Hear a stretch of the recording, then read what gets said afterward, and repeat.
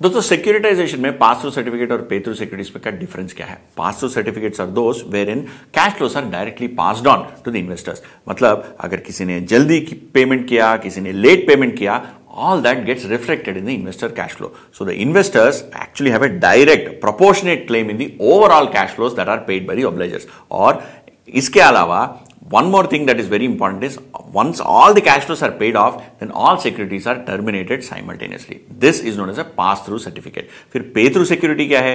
Pay-through security में the cash flows whatever are received from borrowers or loan borrowers or obligors that are not directly given off to the investors. They are kept with the SPV and उसके ऊपर interest earn किया जाता है and only on the due date only the exact amount that is repayable as interest और principal is paid to the investors तो उस तरीके से there is at of desynchronization of cash flows received from the borrowers and payments that are made to the investors और इसमें क्या होता है हर एक दिन एक नया कैश फ्लो नहीं आता है only on the desired due date there is a cash flow made to the investor and if there is any early receipt of money by SPV SPV deploys that money in surplus investments and earn some return also.